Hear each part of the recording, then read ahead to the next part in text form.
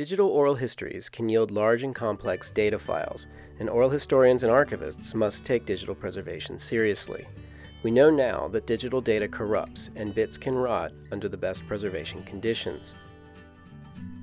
Digital continuity is dependent on many variables. Fixity, or the assurance of future data file integrity, is essential. We often do not know a file has corrupted until it's too late. Merely depending on a backup can be a flawed strategy when your backup system has unknowingly backed up a corrupt file.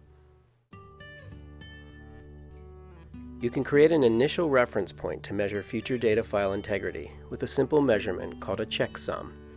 A checksum is a baseline measurement of data fixity and a confirmation of that file's integrity. A checksum is represented by an alphanumeric string that only changes if some element associated with the file changes. If one bit changes, the checksum will be different. There are several different algorithms for creating a checksum.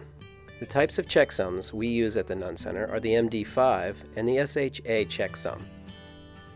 If you don't have a big staff or programmers awaiting your command, there are several free and inexpensive tools available to create a checksum. For Macintosh computers, I prefer a program called MD5 or File Hasher, and if you use a PC, I recommend FastSum. All of these are under $20. Whichever you use, the checksum should be captured as early as possible in the accession process, and it should be verified after each migration. The checksum is easy to create with some of these tools. Simply drag the file into the checksum generator. It can then be pasted back into the checksum tool to compare two files.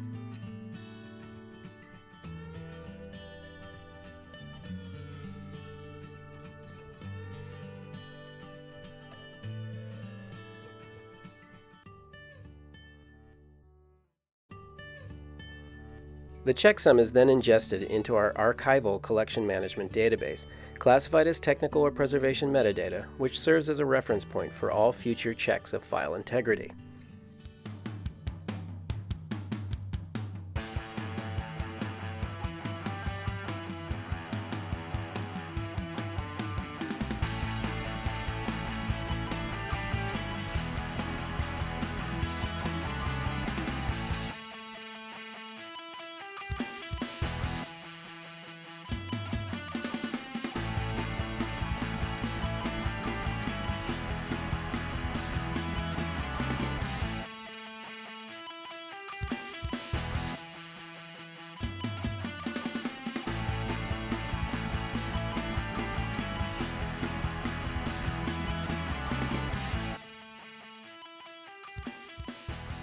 The checksum does not prevent file corruption, but it can be a powerful tool that can help ensure that your digital oral history interview will still be accessible for decades to come.